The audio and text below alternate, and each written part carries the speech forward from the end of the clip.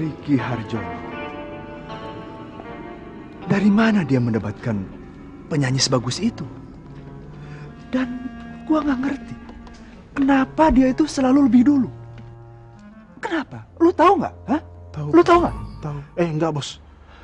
Tapi, Bos, Bos harus tenang, Bos. Harus santai. Jangan terlalu dipikirkan. Allah, santai, rileks, santai, rileks. Mana bisa? Hah? Dia itu selalu sukses. Dan gua nggak bisa membiarkan hal ini terus terjadi. Oh, nggak bisa, nggak bisa. Gua masih ingat betul. Waktu itu dia menolak tawaran gua dengan mentah-mentah. Dengan gayanya yang sombong, yang so angkuh, seolah-olah musisi di Indonesia ini, di jagat ini cuman dia sendiri yang hebat. Hah?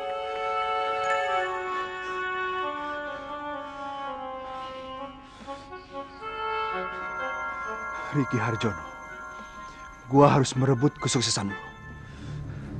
Dengan cara apa? Ya, dengan cara apa? Gua harus merebut wanita itu. Dengan cara apa? Gua harus merebut wanita itu. Eh, maaf, Bos. Kalau saya boleh tahu, Bos.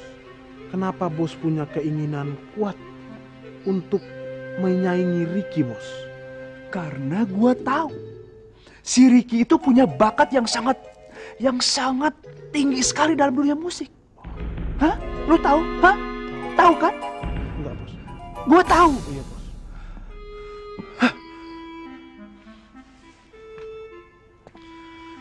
Gua masih ingat betul. Waktu itu pagi-pagi gua datang ke rumahnya. Maaf ya Nabari, Rikinya sedang sibuk di ruang kerjanya. Walah biasa, dia kalau lagi bikin musik tidak bisa diganggu. Eh, tapi dia bilang tunggu sebentar, ya? Saya nunggu. Ya, Ya, tidak apa-apa, Bu. silakan duduk. Silakan. Ya, terima kasih. Nak Bari mau minum apa? Kopi mau? Kopi. Kopi boleh, boleh. Nah, nanti ibu buatkan ya. Oh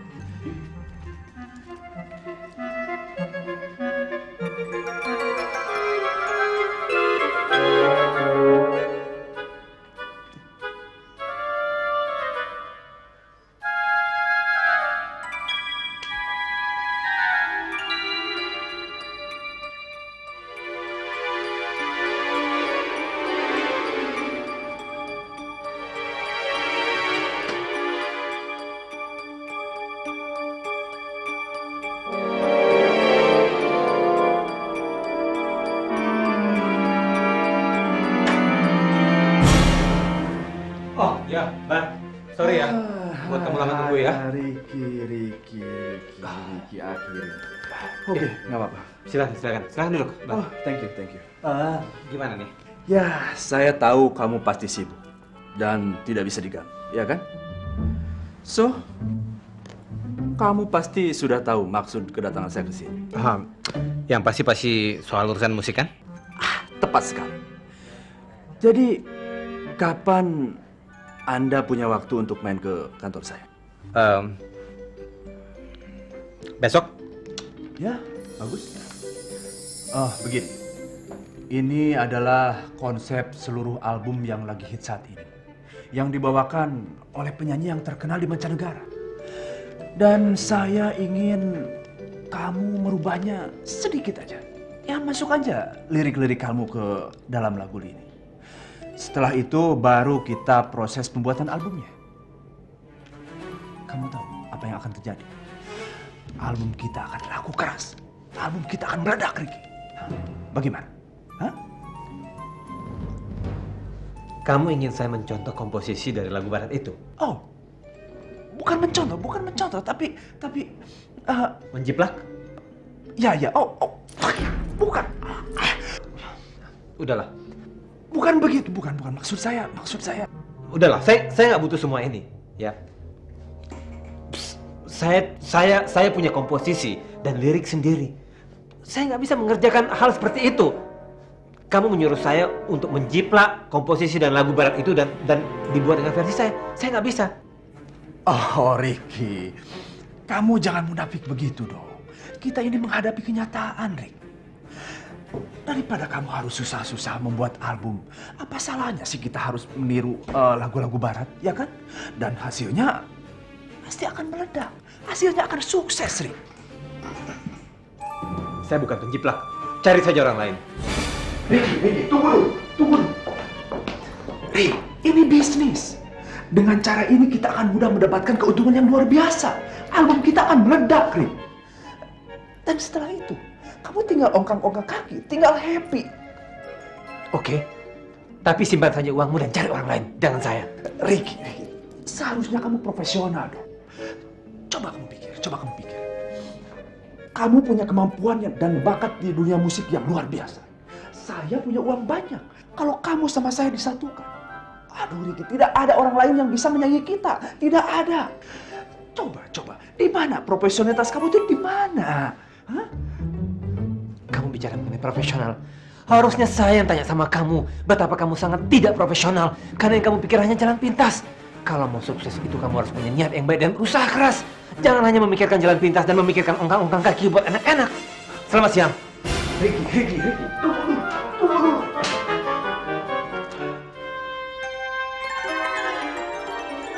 Ternyata laki-laki itu selalu beruntung.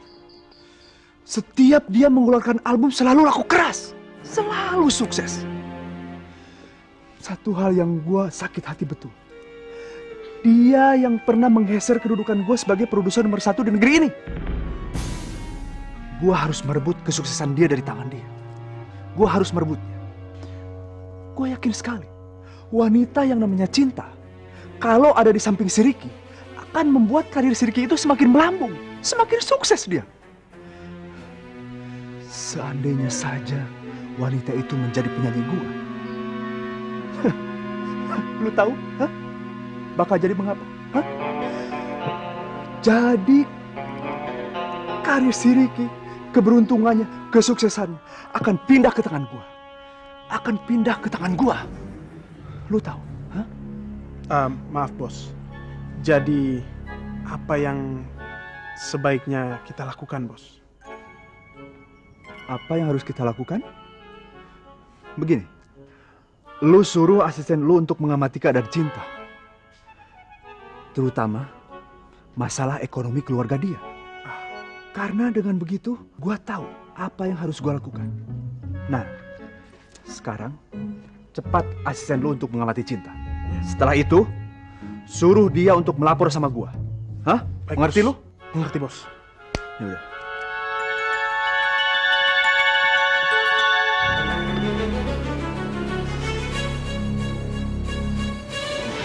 Terima kasih ya sayang. Selamat ya Rik ya. Oh ya, Akhirnya. Selamat. deh. Saya nggak mengucapkan terima kasih sama Vina. Karena Vina yang mengatur semuanya buat saya. Juga Andre. Terima kasih Andre. Sama-sama. Nggak sia-sia kan? Tapi kamu jangan terima kasih sama aku ataupun Andre Karena kamu bisa kenalan dengan cinta itu karena takdir Bukan karena aku ataupun Andre Ya kan? Betul. Yoi.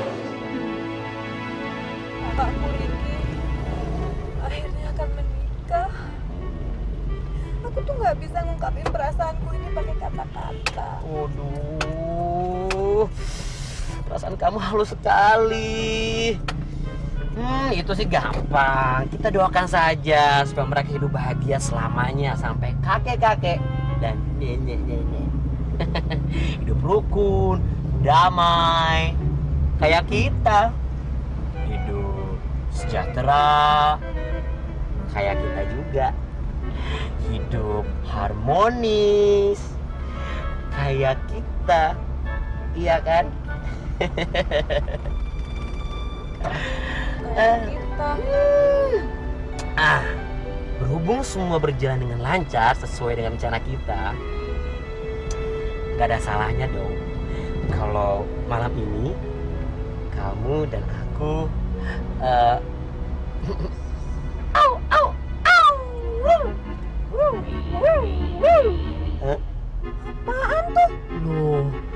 jatah aku malam ini. Kamu kan janji kalau semua berjalan dengan lancar. Vin, ya Vin ya, malam ini Vin. Hmm. Hmm. Oh, kamu sampai terharu begitu. Udah gak sabar. Oh iya. Cepat sampai rumah ya. Let's go baby. Aku mandi dulu ah malam ini. Aku mau bobo. Gak akan aku biarin kamu bobo.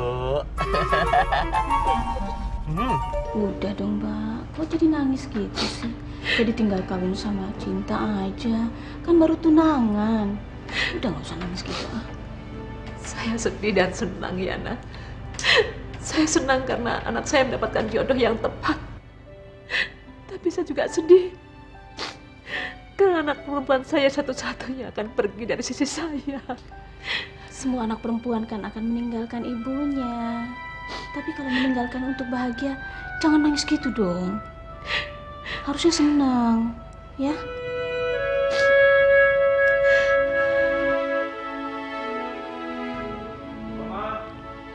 Ya, sebentar. Tuh, Noto udah nunggu di luar. Udah ya, pulang dulu. Udah, Jin. Kasih ya, kamu jaga mama baik-baik ya. Ya, jangan tinggalin. Udah, udah nggak usah nangis lagi. Gitu ya.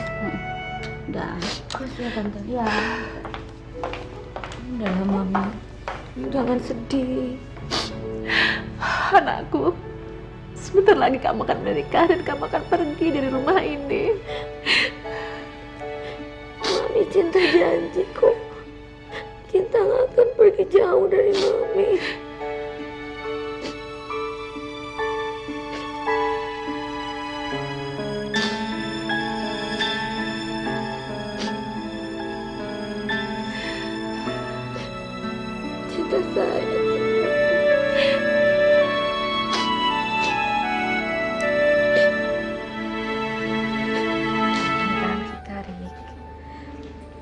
Masa dari tadi siang sampai sekarang beliau bicara terus soal perkawinan.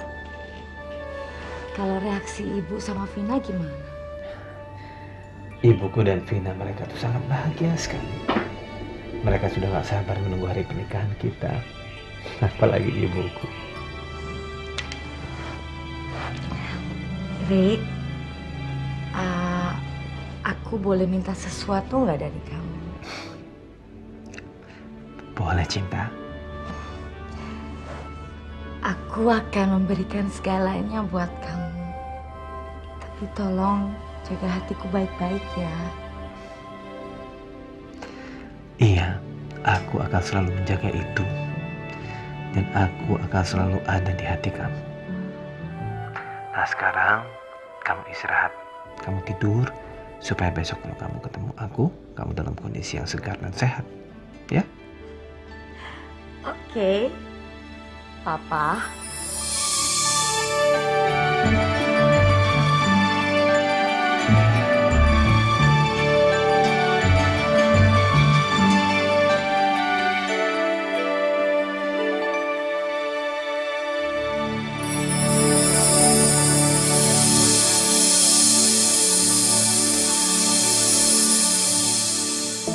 Jangan sampai ketinggalan update terbaru dari MVP Entertainment ID dengan subscribe atau klik tanda lonceng di bagian kanan.